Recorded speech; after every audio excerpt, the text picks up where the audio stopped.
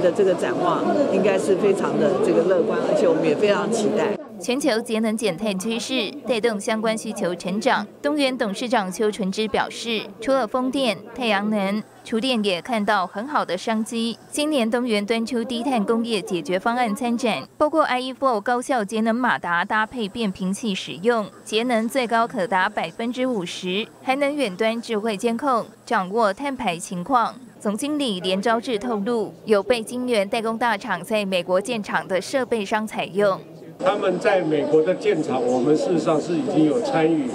啊，提供了这个节能的设备方案，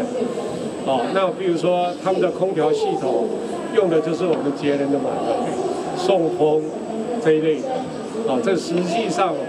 已经在做了。东源马达等电机产品，今年下半年受惠北美市场复苏增温，预估明年北美市场机电产品业绩贡献可望增加。不过，越南疫情再拉警报。东元越南厂是否受到影响？对此，邱纯之回应：受到比较大的影响，不是因为当地停工，反而是因为这个从中国到越南很多的这个供应链受到船运的影响，呃，造成我们的这个营运上面有一点点小小中断。不过整体来讲，呃，越南厂其实是呃营运越来越顺利，而且目前看起来是我们各厂里面交期其实算是最最稳定的一个工厂。展望明年营运，连招志表示，持续以营收和获利成长为目标。法人则预估，东元明年业绩成长幅度落在百分之十到百分之十五。新唐亚太电视陈文模、李晶晶，台湾台北报道。